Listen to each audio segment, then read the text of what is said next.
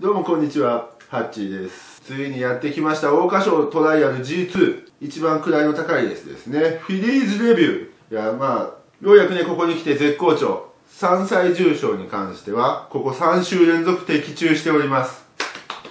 今週も信じていいよ。まず、今週の本命馬。軸の一頭は、蓬莱明子。まあ、この馬1400までだったら強いでしょう。まあ、坂がね、直線になければ1600まで持ちます。まあ、ただね、あの本番では坂のある1600はジュベナイルフィリーズでも持たなかったよね、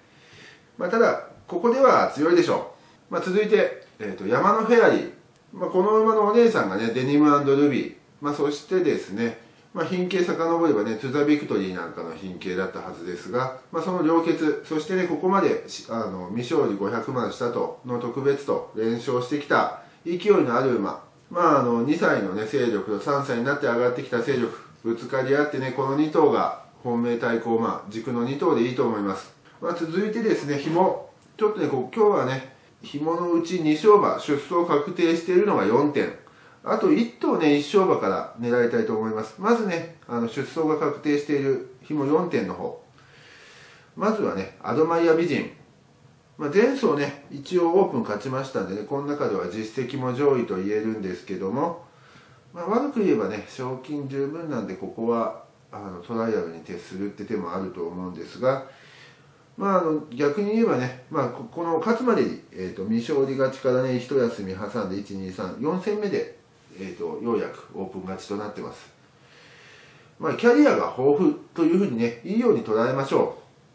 まあ、そしてその中でねファンタジーステークス3着と、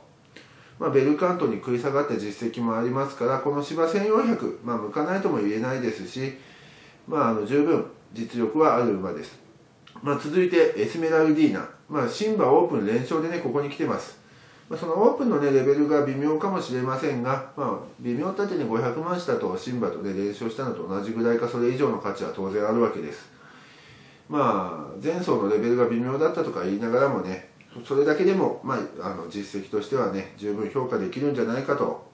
まあ、そしてねこの勢い、まあ、外国のね決闘で、えっと、丸買いですねこの中では、えっと、唯一の丸買いなのかな。まあ未知の決闘ではありますがそれだけに紐に押さえておきたいと思います、まあ、続いてグランシェリー。この馬はね去年の夏にね、えっと、2歳夏のシンバオープン連勝、まあ、その後今あのファンタジーステークスが6着。阪神ジュベナイルフィリーズでは大負けしているんですが2桁着順ですけども、まあ、ファンタジーステークスではね十分食い下がってますし、まあ、芝1400までは許容範囲、まあ、そして、えーと、前走はねマイルでちょっと距離が伸びて負けてしまったということで、まあ、ここで再び距離短縮で期待しましょう、まあ、続いてベルカント。まあ、この馬はね、えーと、芝の戦2で勝ち上がって、まあ、その後小倉2歳ステークスではね蓬莱明子に食い下がる2着、まあ、その後、えーと、京都の芝1400でファンタジーステークス勝ってます、まあ、ただね、えーと、京都と違ってねこっちは直線坂があるので直線坂のあるレースでは実績なしと朝日杯フューチュリティステークスもね果敢に挑んで10着に負けてますので、まあ、ちょっとね直線坂がある分それをこなせるかどうかという信頼度の差で紐まで紐扱いにしておきたいと思います、